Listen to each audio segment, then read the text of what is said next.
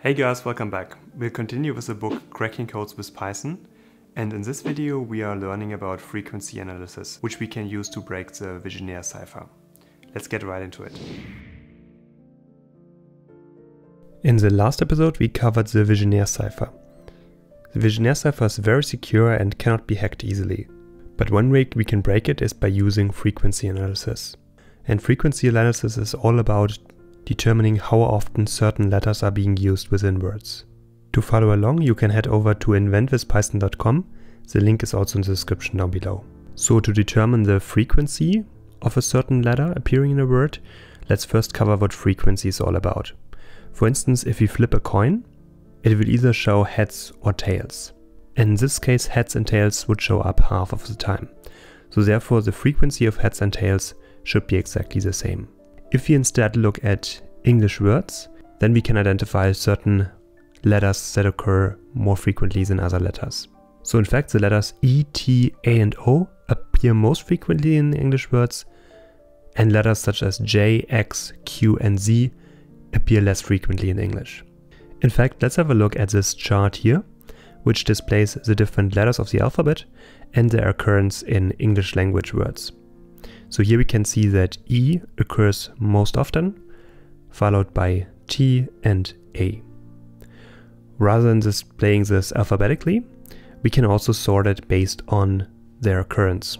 So if we take a look at that, we can see which letters appear most frequently in typical English text. So here we have E, T, A, and O at the beginning as the most frequently occurring letters. And here at the end we have J, X, Q, and Z, which appear much less frequently than the letters at the beginning. And now since we know that certain letters appear more often typically, we can use that as a basis to brute force each sub-key in the Vigenère cipher. So if we take the example from the last episode, where we used the Vigenère cipher with the subkey pizza, we would need 26 to the power of 5, so around 11.8 million keys that we need to brute force and evaluate. But if we can brute force each subkey at a time, then we only need to try out 26 possibilities for each key. So rather than having to try out 26 to the power of 5 different possible keys, we just need to try out 26 times 5 different subkeys, which is just 133 options we need to check. And so that makes it much more realistic for us to break a message encrypted with a Vigenère cipher. So the way we're going to go about this is we are going to use an algorithm that simply orders the letters in a string by highest frequency to lowest frequency. So we would start with those letters E, T, A, and O. And then on the other side, we have those least frequently occurring letters such as X, Q, or Z. And to do that, we are going to calculate a frequency match score for ciphertext. And we start with a score of zero, and then we add a point to that score each time one of the most frequent English letters, such as E, T, A, or O, appears. And we're also going to add a point to the score each time one of the least frequent letters, such as J, X, or Q, appears. And so we're going to get back a score between 0, if they are completely different letters that are unlike the letters used in English words, or it could have a value of 12.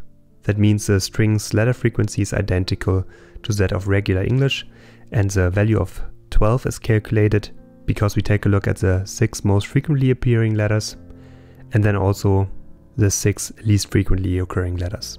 So let's have a look at an example. Here we have a ciphertext and we can use it to calculate the frequency match score of the message that is encrypted here. So in this case, the message is encrypted using the simple substitution cipher.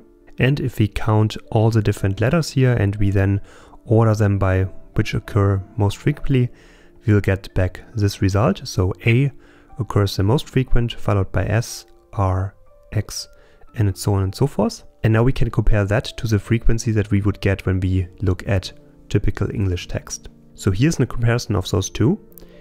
Here we can see the pattern we would see in typical English text. So again, E most frequent, followed by T, A, O, and so on and so forth. And then here we have the least frequently used letters, V, K, J, X, Q, and Z.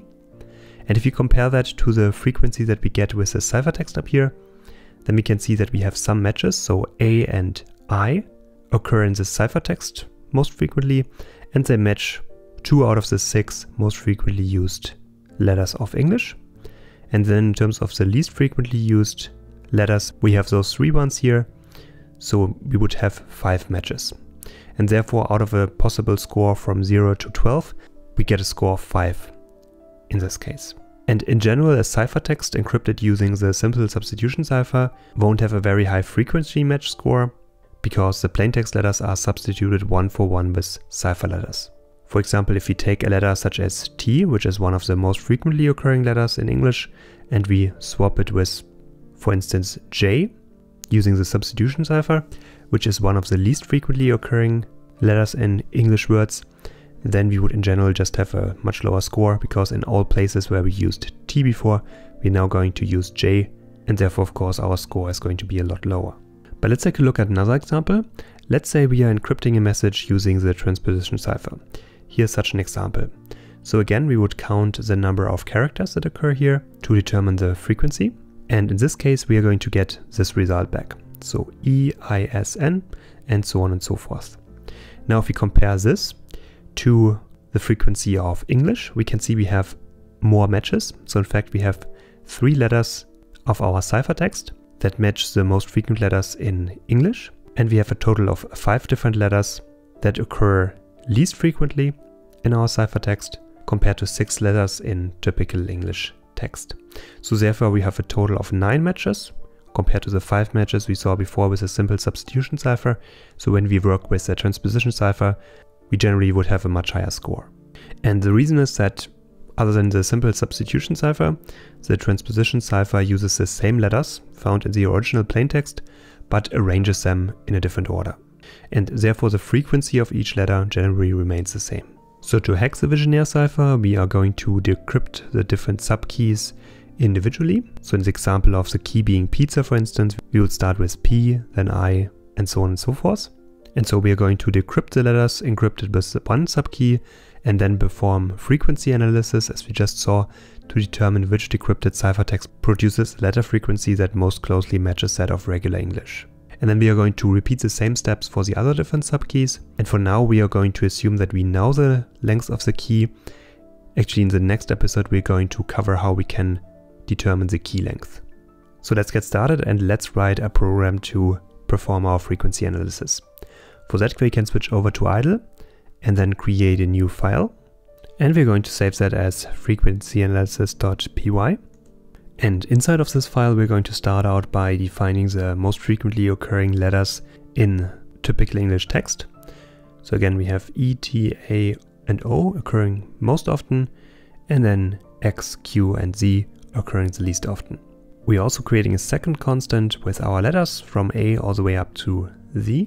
And then we define our first function, getLetterCount. And getLetterCount takes in a message as an argument. And then we are defining a dictionary with all the different letters of the alphabet as a key. And then the value is going to be set to zero. And later on, we are going to use that when we analyze certain messages. And we are going to count the occurrence of each letter and then increase the value here accordingly. Next up, we're going to loop through all the different letters in our message. And to make it easier for us, we are calling upper on message so that we are only dealing with uppercase letters. Next up, we're checking if it's actually a valid letter included in our letters constant here. And if that's the case, then we're going to pass the letter as a key to letter count, our dictionary we defined, and we're going to increase its value by one. So for instance, if we have the letter A, then we're going to increase a value associated with the key A by one, so from zero to one, for instance. And then we're going to return that letter count dictionary. So let's have a look at that function in action. And for that, we're going to use a message. And this is just some text that we are working with, which is actually in a Wikipedia entry about Alan Turing. So once we set up that message, let's actually import our module. And then we can go ahead and we can call the function getLetterCount, which we just defined, passing the message string here as an argument to it. And now based on the return value, we can see that in this text up here, the letter A occurred 135 times, so quite frequently and the letter E occurred even more often, 196 times, while for example the letter X only occurred 3 times. So that's a good starting point, but of course we want to be able to actually order the frequency of the letters that we see so that the most often occurring letters actually at the beginning and the least often occurring letters are at the very end. And for that we can define our get frequency order function, which is going to return a string of the alphabet letters arranged in order of most frequently occurring in the message parameter. And to start out, we're actually going to use our getLetterCount function that we just defined, passing the message as an argument to it, and storing the returned dictionary in the variable letter to frequency. Next up, we're setting up an empty dictionary, and then we're going to loop over each letter in the alphabet, and then we are checking if the value associated with a certain letter, so for example a value of 120 for the letter A, is not yet included in our new dictionary frequency to letter.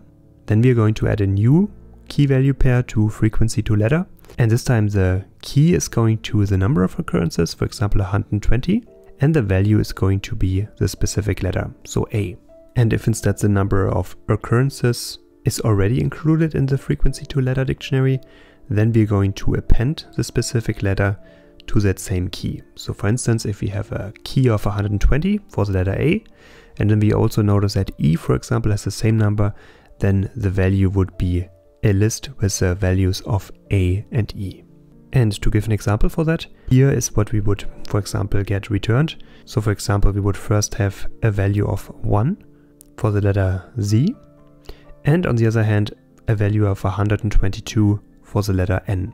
And if there are some letters that have the same number of recurrences, for example 30, in this case then we would have, in this case B and W as a list of the associated value.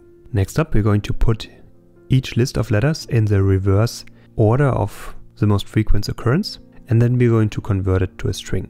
So for that we're going to loop over each entry in our new frequency to letter dictionary and we're going to sort each value of each entry by reverse order using the key etaoin, which is a constant we defined at the beginning, and calling find on it. And after that, we're going to join this together to get back a string. Next up, we're going to convert the frequency to letter dictionary to a list of tuple pairs, so key and values, and then sorting them. So for that, we are going to call items on frequency to letters and then turn it into a list and store it in the variable frequency pairs. Next up, we're going to sort it passing as a key get item at index 0 and then sorting it in reverse order. And now that the letters are ordered by frequency, we're going to extract all the letters for the final string. So for that we are going to define an empty list frequency order and we're going to loop over all the different tuples in frequency pairs and we're going to take the second value of each tuple and append it to frequency order. And since we ordered the tuples before by frequency, we can be sure that it's in the correct order and then the last step is to join that together to get a string and returning that string. So let's see that function in action. So we're going to call that function, again passing the same message to it. And here we get back a string with the different letters ordered from most frequent occurrence to least frequent occurrence. And just to be sure that the output is correct, we could compare the order to the actual values that we have associated with each letter. So we can see that E is the first letter and that indeed matches our dictionary here because E occurs most often with a frequency of 196. T is in second place with 140. Then we have I, which occurs 139 times. And then we have A with 135 times. And on the opposite end, we have, for example, the letter Z that occurs just one time. And if we double check, we can actually see that's the correct order. So now we got back the frequency order of our message here. Now there's only one step left, we need to compare the order in which the letters occurred in our message to the actual frequency that we would have in most English texts. And for that, of course, we need to start out with our individual frequency order for the message. For that, we are going to call get frequency order, passing the message to it, just as we did before. And that string is going to be stored in frequency order. And next up, we are defining our match score. We initially set it to zero. And then we need to determine how many matches we actually have for the six most common letters and for the six least common letters. And for that we can take our constant ETAOIN, which of course is the order in which letters occur most frequently in regular English text. And we're going to just have a look at the first six letters. So as we loop over each letter in those first six entries, we're going to check if this letter is actually in the first six entries of our frequency order string and if it is, we are going to increase the match score by 1. So we can have a maximum score of 6 for this. And next up, we're going to then loop over the uncommon letters. So we take a look at the last six entries in our constant here. And then for each time this actually matches the last six letters in our frequency order string, we're going to increase the match score again by one.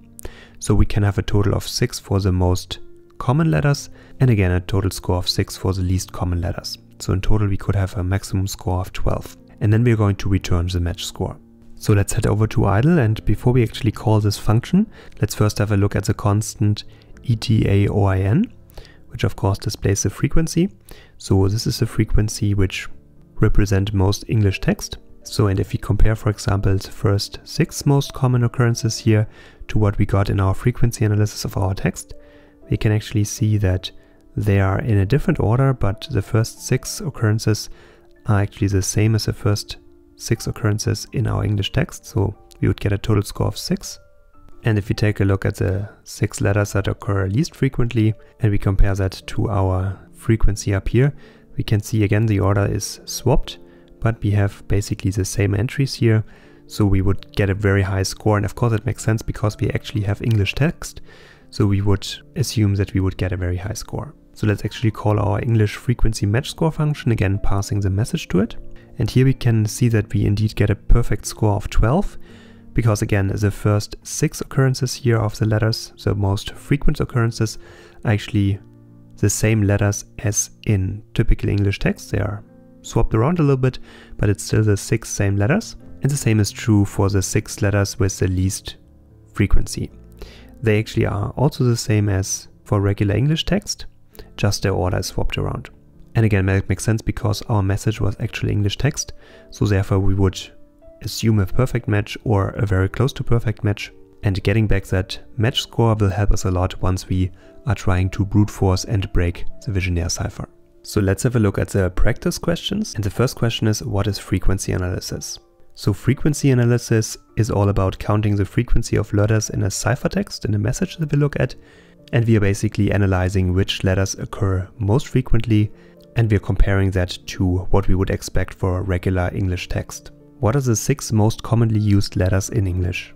So we know based on our frequency chart that the six most commonly used letters in English are E, T, A, O, I and N. What does the spam variable contain after you run the following code? So here we define a list spam with four different values and then we call sort on spam and we specify that we want to set reverse to true so we are going to sort it not in ascending but in descending order. So based on that, we should get back a list with the highest value first, 8, then 6, then 4, and then 2. And let's head over to idle to verify that. So we can first specify our list, and then we can sort our list passing reverse is set to true as an argument. And if we now have a look at spam again, we can indeed see that the entries are ordered, but in reverse order. The last question is, if the spam variable up here contains a dictionary, how can you get a list value of the keys in the dictionary? So to answer that, let's head over to idle again. And let's assume spam was not a list as up here, but instead was a dictionary. And here we have different keys and different values associated with it. So that again could be the result of our frequency analysis here, the occurrence of a certain letter and then of course the associated letter as a value. So if we have that dictionary here, we could call keys on spam and this is going to give us back the dictionary keys. And if we want to get those dictionary keys as a list, we still need to make sure that we turn that result into a list. So therefore we are going to use the list function, pass spam.keys as an argument to it. And as we run that, we can see we get the exact same list back as we defined up here. So that's a way how far we can turn a dictionary, specifically the keys of a dictionary, into a list. We covered how we can write a frequency analysis module. We're going to use that module in the next video in order to break the Vigenère cipher. Feel free to subscribe to the channel to stay up to date and see you guys in the next video.